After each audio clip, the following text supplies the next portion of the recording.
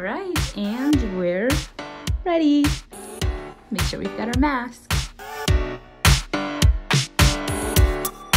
Hi guys, Anne here. So today we're getting a behind the scenes tour of the 930 Club, which is one of the most venerated clubs in DC and in the entire country. And we're ready to go, so I'll see you guys there.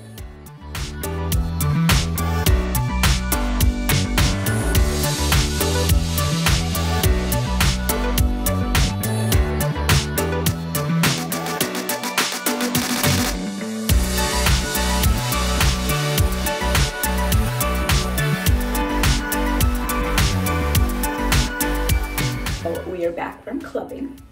Just kidding.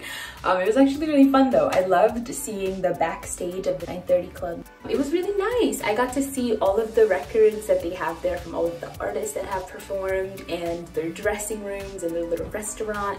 I can't wait for everything to be opened back up so that I can actually go there and see some of my favorite artists perform. They told us that they've had Adele perform there, they've had James Brown perform there when he was alive.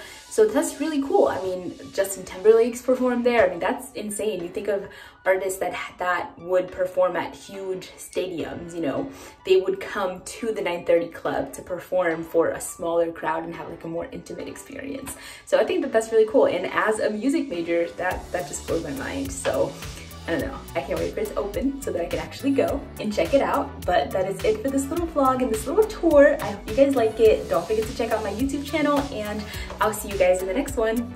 Bye!